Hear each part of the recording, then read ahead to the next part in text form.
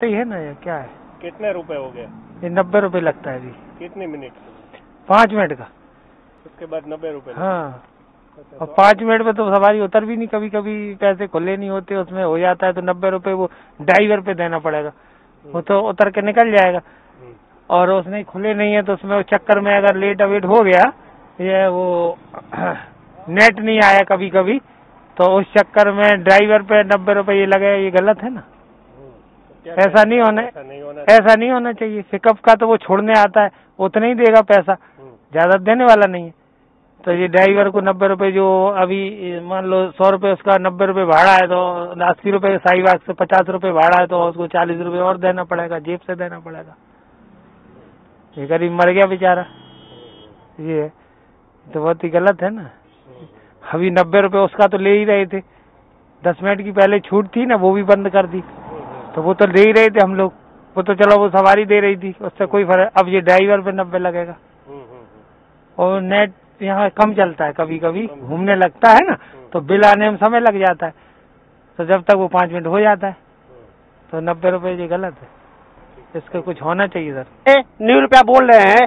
थोड़ा से पाँच मिनट डेढ़ सौ रुपया। बताइए गरीब आदमी कहाँ से भरेगा पैसा? यहाँ पे कोई पिकनिक करने आदमी आया है? गरीब आदमी बेचारा पैसा कमा के कहाँ कहाँ से किसी किसी पैसेंजर का कोविड टेस्टिंग हो रहा है अंदर तो लिया और हमारी गलती है, हमारी हाँ, गलती तो है। अलग से पर पैसेंजर हो यह व्यक्ति कोई आता है अपने घर जाने के लिए घर परिवार से मिलने के लिए आता है दो पैसा कमाने के लिए बाहर आया है इसका मतलब ये नहीं क्या शोषण होगा उसका? दो पैसा कमा के फ़्लाइट जा रहा है किसी तरह से जा रहा है।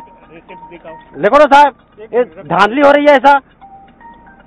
यहाँ कोई घूमने थोड़ी जा रहा है आदमी। आधे घंटे में डेढ़ सौ रुपये है फिर दो बार चार सौ रुपया पाँच सौ रुपया कराएंगे कहाँ से आदमी देगा आम आदमी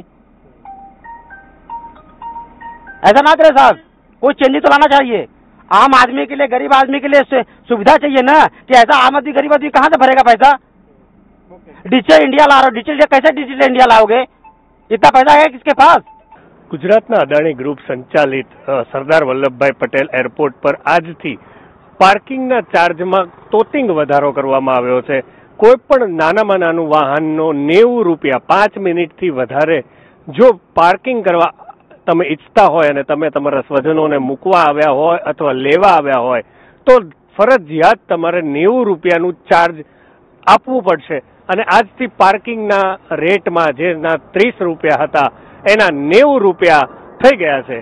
અમદાવાદથી કેમેરામેન મુકેશ ડોડિયા સાથે મનન દવેનો અહેવાલ.